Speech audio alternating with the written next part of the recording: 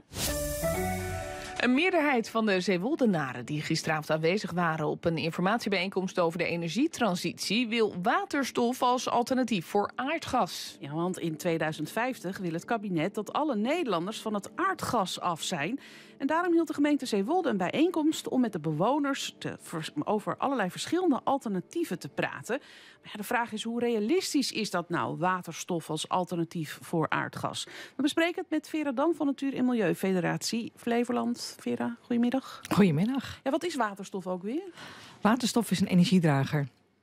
En eigenlijk ehm, draagt het dan de energie van de ene plek naar de andere plek. En dan wordt het weer nuttig toegepast.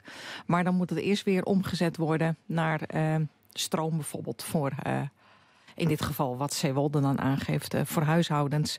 En omdat het een energiedrager is, uh, zitten we eigenlijk ook wel meteen een beetje met een knelpunt bij dat uh, waterstof. Ja? Want bij het omzetten uh, van uh, elektra, stroom, bijvoorbeeld van windmolens, naar waterstof, die dat dan als energiedrager gaat transporteren, heb je ook best wel veel verlies.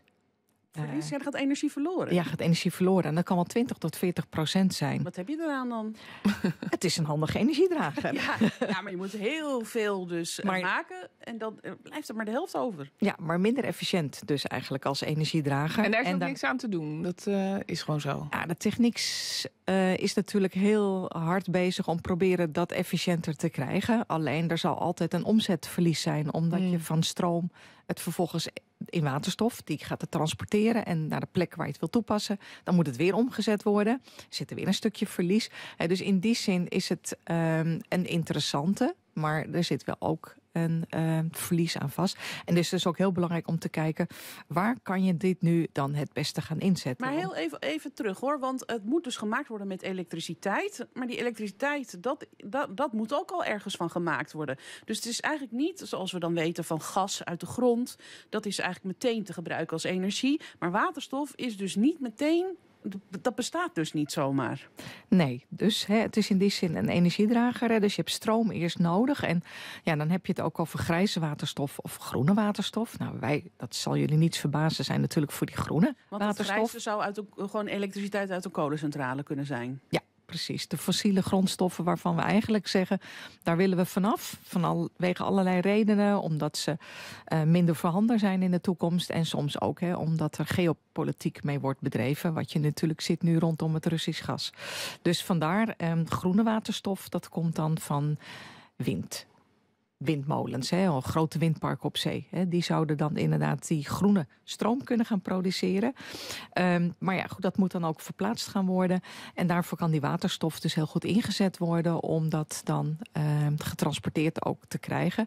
En dat betekent dus dat er niet zo heel veel voorhanden is op dit moment. En die schaarste is dus ook best wel een knelpunt. Uh, op dit moment is er gewoon heel weinig groene waterstof voorhanden. En um, in 2020 hebben we toen ook een verkenning gedaan samen met Natuur en Milieu. Uh, waar kan je dat dan uiteindelijk ook het beste gaan toepassen? Hebben ze een soort afwegingskader gemaakt met eigenlijk uh, drie vragen daarin. Um, de eerste vraag daarin is, is er een duurzamere oplossing voorhanden op dit moment? Mm -hmm. Dan dat waterstof? Dan, uh, ja, hè, dus uh, kun je op een andere manier uh, die elektriciteit duurzaam opwekken ja. toepassen. En? Nou, dan komt eruit bij personenvervoer ja. Want we, we schakelen over naar, naar elektrische auto's. Uh, we hebben elektrische auto's. We zijn bezig met de elektrische laadstructuur allemaal aan te leggen. Dus daar is een andere oplossing voor. Um, en dat gaat best goed. We willen natuurlijk sneller, maar dat gaat best goed. Dus voor personenvervoer is het gewoon minder interessant om het te gaan inzetten. Als je dan kijkt naar de zware industrie daar zit een hele grote uitdaging. Uh, daar zit een hele grote energievraag, een energie-intensieve vraag. Die zitten ook op een paar locaties.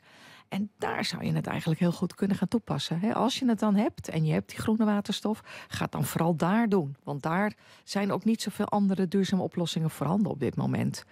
Dus dat is de eerste vraag. Uh, is er een duurzame oplossing? Nou, personenvervoer wel. Zware industrie niet. Daar zitten we echt met een behoorlijk vraagstuk. Hoe gaan we dit, uh, die energievraag verduurzamen? Nou, en die mensen in uh, Zeewolde dan? Nou ja, de tweede was dan ook, is er een andere oplossing efficiënter? Dat is die tweede vraag uh, in de afweging. Uh, en dan heb je dus, waar wij het net mee over hadden... Uh, zodra het vervoerd moet gaan worden... en het individueel helemaal naar een deur bij een woning gebracht moet gaan worden. Nou, dan heb je het ten eerste over dat het omgezet moet worden. Dan moet het nog over een hele lange afstand getransporteerd uh, gaan worden. wel via die aardgasleidingen die we al hebben liggen. Hè? Dat, dat was het voordeel van waterstof. Ja, maar dat moet ook nog wel heel veel verder in verkend gaan worden. En dan blijft dus die vraag, uh, waar is nou eigenlijk de nood het hoogst op dit moment? En is er geen andere duurzame energiebron voorhanden? Uh, hè, dus daar ga je dan eigenlijk eerst kijken. Bij, als je dan kijkt naar de gebouwde omgeving, dan zijn ook heel veel andere oplossingen inmiddels voorhanden. Uh, en daar wordt ook op ingezet. Maar dan moet je denken aan een warmtepomp of zonnepanelen op je dak, dat, dat soort werk. Ja, of een warmtenet. Maar dan is eigenlijk dus gewoon waterstof ja, ten dode opgeschreven. Als je het zo hoort. Hè? Want het is eigenlijk bijna nergens, behalve dan voor de zware industrie, uh, een goed alternatief voor. Ja, maar in die zware industrie zit natuurlijk wel een hele hoge energievraag. Uh, waar we ook op dit moment echt geen 1, 2, 3 andere oplossingen voor hebben. Dus daarom is waterstof zeker interessant. Maar je zegt, en, dat moet, moeten we ons meer verdiepen en kijken hoe dan? Uh, ja, en op dit moment is het echt nog heel weinig voorhanden. Hè. Dus het belangrijkste is dat je eerst gaat zorgen dat je dan hogere productie gaat draaien. En dan uh, het ook zo snel mogelijk toepasbaar. En dan kan je het beter doen bij die bedrijven die heel energie-intensief zijn. En bijvoorbeeld bij de Eemond of bij uh, Rotterdam of nou ja, de Hoogovens is ook zo eentje. Zo, ja. ja, dat je daar ook gewoon direct de, de, de omzet gelijk ook weer toepasbaar maakt. Zodat je ook geen transportverlies hebt. En ja. uh, dan, dan doe je het, wat wij zeggen, gebruik het vooral slim. Ga het vooral heel slim toepassen, want het is een interessante optie.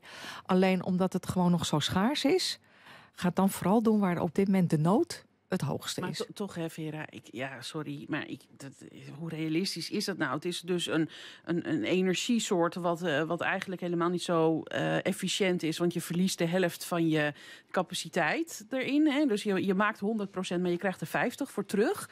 Uh, en vervolgens is het alleen maar voor ja, kleinere doelgroepen be, beschikbaar dan. Niet voor het hele grote publiek. Ik kan me bijna niet voorstellen dat in 2050 een antwoord gaat zijn op die energietransitie. Nou, ik denk wel dat het een van de varianten gaat worden. En zeker na 2030.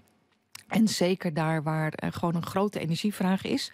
Want uh, als je het echt in uh, de mobiliteit of gebouwde omgeving... dan moet je een heel fijnmazig uh, net. En alles moet dan ook ingeregeld worden... en moet er ook allemaal weer op aangesloten kunnen worden. Hè. Dus dat kost natuurlijk ook nog wel het een en ander. Want misschien kan het wel door die aardgasleiding heen. Maar het moet ook allemaal wel weer uh, toegepast worden. Dus betekent dat iedereen ook wel aanpassingen moet gaan doen. Kost ook wel weer wat. Um, dus als je dan kijkt waar, waar kan je dat beste doen. Doe het dan dus bij die industrie die die zware energievraag heeft. Waar op dit moment ook niks is. En dan maak je echt wel megastappen ook. Nou, laten we hopen dat die uh, zware industrie daar dan ook aan mee gaat werken. Dat is natuurlijk het allerbelangrijkste. En nou, dankjewel dat je ons weer eventjes een beetje beetje bijgepraat over die waterstof. Blijft ingewikkelde materie. Uh, Vera Dam van Natuur- en Milieufederatie Flevoland. Dankjewel. Graag gedaan.